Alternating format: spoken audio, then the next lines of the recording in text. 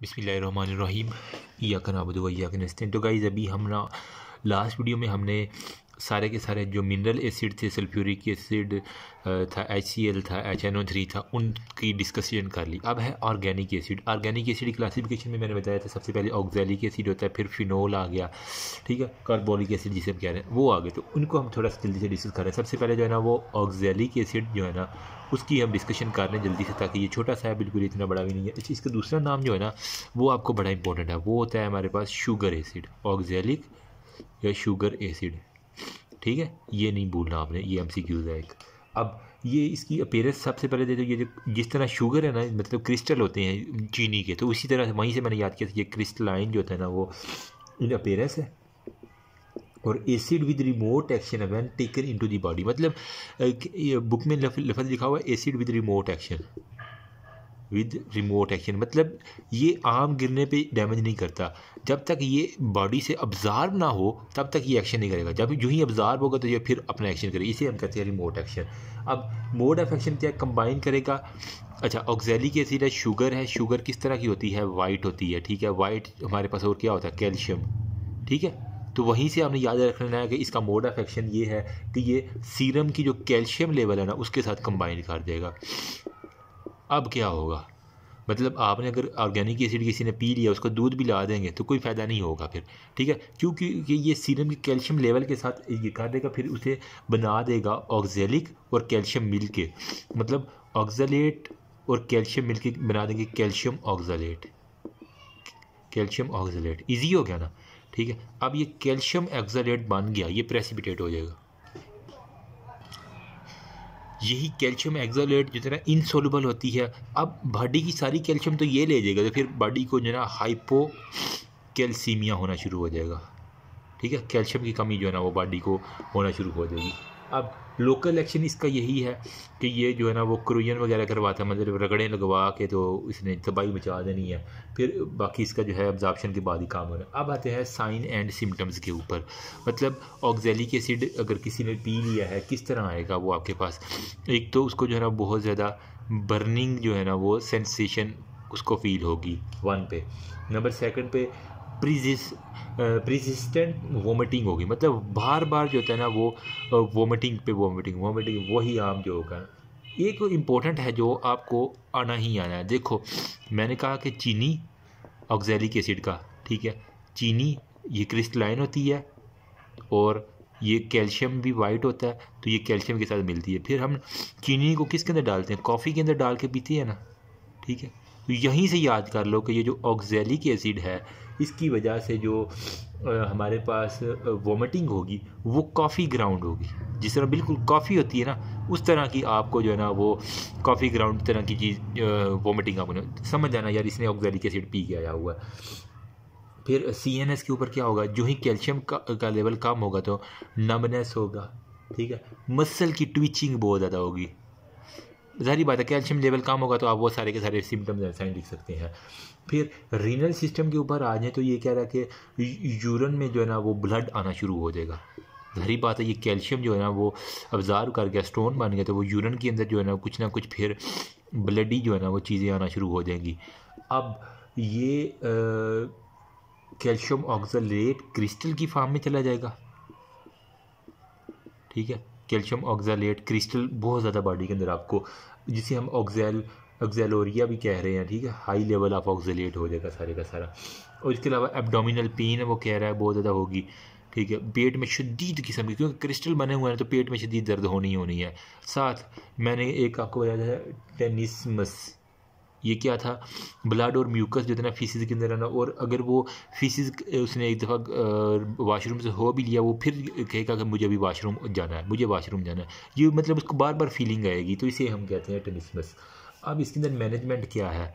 Management कुछ भी नहीं है बेटा जी, वो आप चुप करके उसको जो है ना वो गैस्ट्रिक लिवाज कर दो। जो गैस्ट्रिक लिवाज करेंगे फिर हमारे पास कुछ एंटीडोट्स जो होते हैं ना वो आपने दे देने जो बाकियों में देते हो यार पॉइजन के खिलाफ एंटीडोट्स उसके अंदर चाक इन वाटर मतलब आपके पास घर में चाक पड़ा हो ना या वो चूना पड़ा हो तो चाक इन वाटर पानी के अंदर जो है ना वो चाक डाल के दे दो पॉइजन वैसे कन्फ्यूज़ हो जाएगी कैल्शियम और चाक के साथ तो वो चाक के क्रिस्टल बना देगी कैल्शियम आपकी बॉडी का, बच जाएगा। नेक्स्ट हमारे पास पैराथायराइड जो है ना, वो एक्सट्रैक्शन भी कर दी जा सकती है। यूरन जो है ना आउटपुट उसको मुसलसल जो है ना आपने मोनीटर करना होता है। ठीक है? अच्छा पैराथायराइड क्या करता है?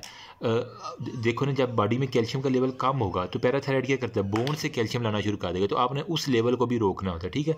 पैराथायराइड की जो ना, वो सप्रेशन भी करवानी होगी फिर हमारे पास सिम्टोमेटिक ट्रीटमेंट जो जो सिम्टम्स आती जाएँगी, ठीक है? पेन आ रहा तो मार्फिन दे देनी है और बाकी इस तरह की चीज़ें।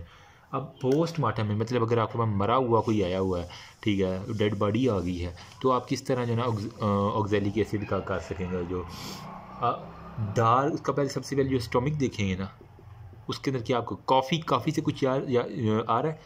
डार्क जो होता है ना वो लिक्विड आपको कॉफ़ी बिल्कुल आपको ना स्टोमिक के अंदर मिलेगी उसके। नंबर वन भाई ये। नंबर दो पे क्लाउडी एरियाज़ होंगे कैल्शियम ऑक्जालेट के जगह जगह पे आपको कैल्शियम ऑक्जालेट जो ना वो मिलेंगे। क्लाउडीज एरिया की तरह, जिस तरह बादल होते हैं ना, हल्के हल्के, वैसे वैसे आपको मिल जाएँगे।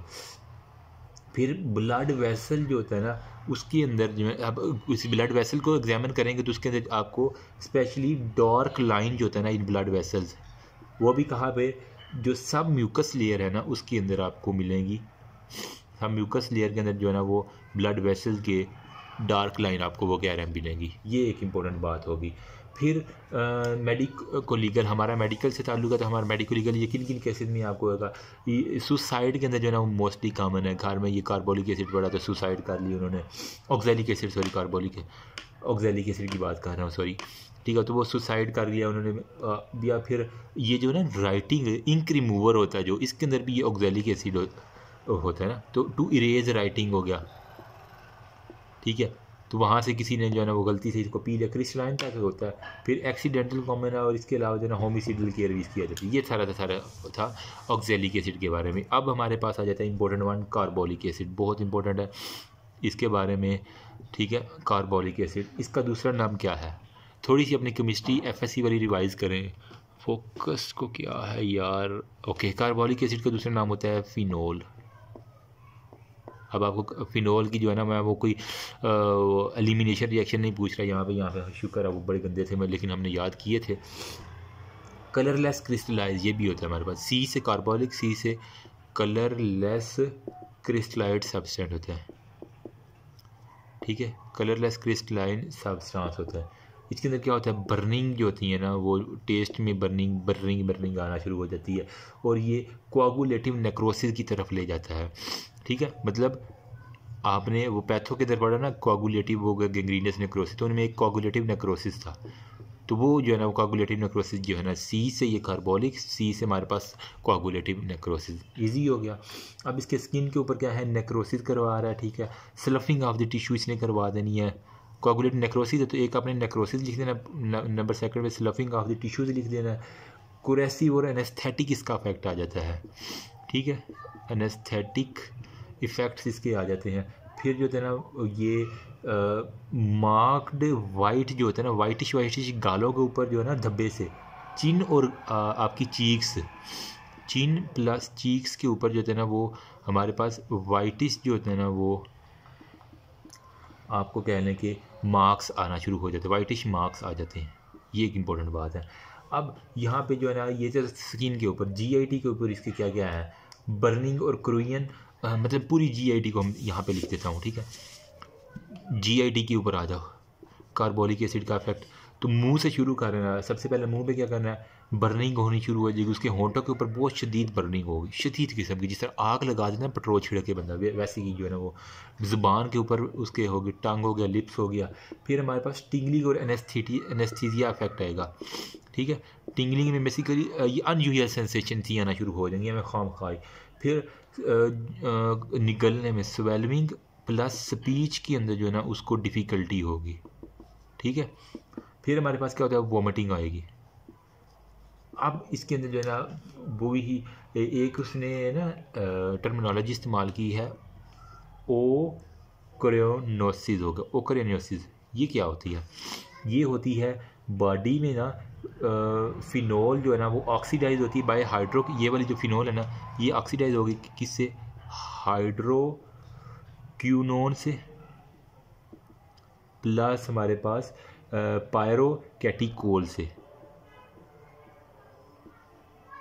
पायरो कैटिकोल से फिर ठीक है तो इसको हम कहते हैं ओ क्रोनोसिस क्या होता है? सब्सटेंस जो है ना, ये काज करते हैं discoloration of the capsule and cartilage इनकी वजह से जो कार्टिलेज की डिस्कलरेशन होगी ना, उसकी हम कहेंगे ओ क्रोनोसिस कॉन्ट्रोसाइट होते हैं ना कार्टिलेज का, वो ओ को क्रोनोसिस वहीं से याद कर लोगे कार्बोलिक एसिड की वजह से होगा। यहाँ पे भी सी आ रहा है और यहाँ पे भी जो कार्बोलिक एसिड में सी आ रहा है तो फिनोल के साथ वो रिएक्ट कर देगा। अब इसके अंदर है रिमोट एक्शन अच्छा रिमोट एक्शन में क्या है हमारे पास? कुछ भी नहीं है। आपने जो है ना सी वी एस के ऊपर इस मतलब जब ये ऑब्ज़ार्व होगी तभी इसमें इफ़ेक्ट करना है। सी वी एस के ऊपर कूल्ड जो है ना, वो स्किन आपको होगी, ठीक है? और फीबल जो है ना, वो पल्स पल्स बिल्कुल कम होगी। फिर प्यूपल जो है ना, वो कॉन्ट्रिक्ट कॉन्ट्रैक्ट कर जाएगा।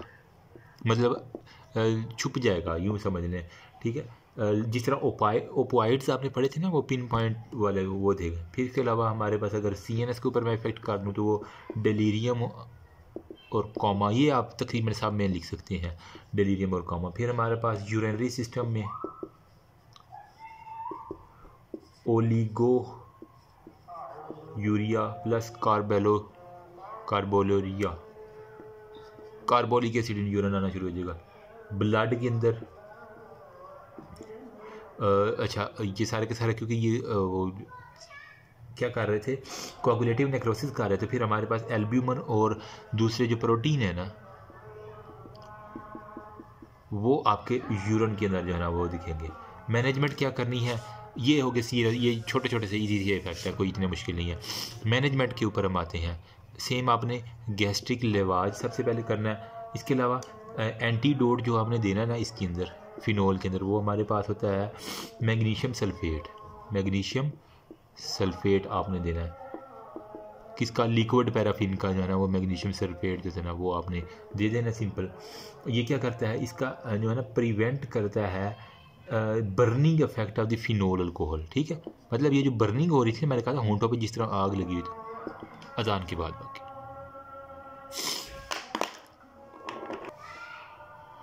ओके जी अगेन वेलकम तो यहाँ पे बर्निंग की एक तो सेंसेशन आ जाएगी. नंबर आप इसके अलावा जो है ना वो उसको दूध भी ला सकते हैं या फिर अंडा वगैरह जो है ना वो एग वाइट वो खिला दें तो ज़्यादा होगा. इसके अलावा अगर जो डिहाइड्रेशन तो आईवी से लाइन जो होता है ना वो आप लगा दें.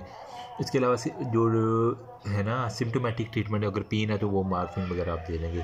पोस्टमार्टम के अंदर जो है ना मोस्ट इंपॉर्टेंट आपका है ना पोस्टमार्टम के अंदर क्या क्या आपको दिखेगा? यहाँ पे मैं लिखता हूँ पोस्टमार्टम अपेयरेंस तो उसके अंदर आपको जनाबे वाला, एक तो ग्रेइश वाइट स्टेन मिलेंगे। ग्रेइश वाइट स्टेन जो है ना वो मिलेंगे। नंबर सेकंड पे जो फिनोलिक स्मेल है ना, अब जब स्टोमिक खोलेंगे तो उसके अंदर आपको फिनोलिक स्मेल मिलेगी। या फिनोलिक स्मेल कैसी होती है? फिनोल जो है ना मी, मीठी मीठी मेरे ख्याल में ये होती है। हमने केमिस्ट्री में पढ़ा था शायद इस तरह की होती है कंफर्म कर लेना। इसके अलावा जो है ना वो लार्ज और कंजेस्टेड होती है प्रोमिनेंट रोगाए आपको मिलेंगे स्टोमिक के ऊपर। ठीक है? बहुत प्रोमिनेंट होंगे। वो यूँ यूँ जिस तरह वट पड़े होते हैं इस तरह के आपको दिखेंगे। और वाइट जो है ना मार्क्स होंगी चिन। चिन के ऊपर आपको वाइट मार्क्स जो है ना वो दिखेंगे। ठीक है? और ये मोस्टली सुसाइडल होता है कॉमन होता। है अब जो है ना, मैंने ऑक्जेलिक एसिड और कार्बोलिक एसिड इन दोनों का बता दी इन दोनों की जो है ना, वो अगर मैं कहूँ कि फेटल डोज क्या है तो यहाँ पे मैं लिखता हूँ ऑक्जेलिक एसिड यहाँ पे हम लिखते हैं कार्बोलिक एसिड ऑक्जेलिक एसिड की जो है ना, वो पंद्रह से बीस ग्राम है, जबकि इसकी जो है ना, वो कार्बोलिक एसिड की दस से पंद्रह ग्राम है। ठीक है? ये दो घंटे इसका फेटल पीरियड है, इसका जो है ना वो तीन से चार घंटे जो है ना वो। बस, ये इसका आपने एक याद कर लेना है। अब हमारे पास आ जाते लास्ट पे वेजिटेबल ऑयल मतलब हमारे पास हाइड्रोसियानिक एसिड को कहा देना H C N hydrocyanic acid इसका दूसरा नाम क्या है? वेजिटेबल ऑयल यही कहा था। Acid gas with bitter almond like smell मतलब सब्जियों के साथ ही आपने बादाम को याद कर लेना है। जिस तरह कड़वे बादाम होते हैं ना बिटर आलमंड तो उस तरह की बिल्कुल स्मेल आएगी। ठीक अदर नेम इसका जो है ना, वो सायोजिन भी कहीं पे लिखा हुआ कहीं पे परस्यू एसिड भी इस तरह का नाम लिखा हुआ है। मोड ऑफ़ एक्शन से हमारा ताल्लुक है। मोड ऑफ़ एक्शन क्या है? ये क्या करता है? इसके पास होता है सायो सयानोजिन जो होता है ना, या इसका दूसरा नाम हाइड्रोसियानिक एसिड या सियानोजिन, जहाँ भी लिखा हो एक ही बात है। क्या होता है? इनहेबिट करता है साइटोक्रोम ऑक्सीडेज को। किसको जनाबे वाला? साइटोक्रोम ऑक्सीडेज को। ठीक है? साइटोक्रोम ऑक्सीडेज को इसने इनहेबिट करना होता है, जिसकी वजह से हमारे पास सेलुलर हाइपोक्सिया हो जाता है। एक बात ये होगी। नंबर सेकंड पे वो कह रहा है, ये डैमेज करता है म्यूकस मिब्रेन को। जितनी भी म्यूकस मिब्रेन है ना, उसको जो है ना, उसने डैमेज कर देना है। ये बात होगी। नेक्स्ट इसके साइन एंड सिम्टम्स होती हैं। अब साइन एंड सिम्टम्स जो है ना, इसके डिपेंड करती हैं कितना इंटेक किया हुआ है। अगर तो ज़ीरो पॉइंट फाइव से वन एम एल पर लीटर लिया ना तो हमारे पास जो है ना वो फ्लशिंग होगी प्लस रैपिड पल्स आपके पास आएगी प्लस हमारे पास शदीद सर दर्द होगा हेड एक जिसे हम कह रहे हैं। अगर उसने ज़ीरो पॉइंट नज़र आ रहा ना, ठीक है ज़ीरो पॉइंट ज़ीरो से मतलब टू एम एल तक वन से टू एम एल तक ज़्यादा पी लिया है तो फिर उसके बाद जो है ना वो लॉस ऑफ़ मसल पावर आएगी, ठीक है? लॉस ऑफ़ मसल मसल के अंदर यूँ लगेगा जा नहीं रही। वो कहेगा, मेरे टक सब जा ही नहीं रही। और अगर खुदा न खास्ता उसने टू से two point five m l पर लीटर पी लिया है ना, जनाबे वाला तो क्या होगा? बिल्कुल वो कोमा के अंदर चला जाएगा। बहुत अग्रेसिव है ये बहुत अग्रेसिव है जनाबे वाला। ये क्या करता है? आँखें फाड़ देगा डायलेटेड पीपल कर देगा उसकी। डायलेटेड पीपल रिस्पायरेशन जो है ना वो बिल्कुल स्लो रिस्पायरेशन कर देगा। और साइनोसिस जिस तरह कड़वे बादाम खाने से साइनोसिस हो रही थी ना ठीक आपने वही जो है ना इमेजिन कर लेना कि मतलब साइनोसिस होगी और वो फिर जो है ना वो डेथ की तरफ़ देगा। काज इसका मेजर क्या है? कड़वे बादाम खाने से जो है ना वो आ, क्या होता था कि उसको हाइपोक्सिक हाइपोक्सिया हो रहा था। तो यहाँ पे आप लेंगे कि सर इसको जो है ना वो हाइपो हाइपोटॉक्सिक उसने लिखा हुआ या साइटोटॉक्सिक एनोक्सिया जो है ना वो साइटोटॉक्सिक एनोक्सिया जो है ना वो इसको हो अब इसके अंदर जो है ना जब ये इनहेल की फॉर्म में कर लें, या फिर आप किसी भी और सूरत में ले लें तो इसी तरह होगा। अब मैनेजमेंट क्या है? रिमूव करना है पेशेंट को सबसे पहले जो उसने सोर्स लिया हुआ है ना, उसको मैनेजमेंट में मैं बता रहा हूँ कि रिमूव कर दो सारी की सारी चीज़ें। ठीक है, उसके कपड़े वगैरह जो है ना, वो अच्छी तरह से धो दो मतलब उतार दो और उसके बॉडी को वॉश कर दो अच्छी तरह से। मतलब जहाँ जहाँ भी ये वेजिटेबल ऑयल गिरा हुआ है ना, कहीं और डैमेज ना कर दे ये वहाँ से। ठीक है, और फिर एंटीडोट उसको देना है। एंटीडोट कौन सा देना है हमने? डाई कोबाल्ट टेट्रा सीमेट डाई कोबाल्ट टेट्रा सीमेट जो थे ना, वो आपने दे देना है इसे। अब इसके अंदर जो है ना वो सोडियम थायो सल्फेट भी दिया जाता है, कहीं कहीं लिखा हुआ है। सोडियम थायो सल्फेट, ये रट्टे लगाने वाली चीज़ें हैं। मिथाइल नाइट्रेट की इन्हेलेशन दी जाती है। मिथाइल नाइट्रेट की जो है ना वो इन्हेलेशन की जाती है और सोडियम नाइट्रेट भी इसको दिया जाता है। सही है? Sodium nitrate, methyl nitrate, dicobalt टेट्रामेट ये सारे के सारे इसको जो है ना वो दी जाती है। अब हमारा मकसद है पोस्टमार्टम के ज़रिए, ठीक है?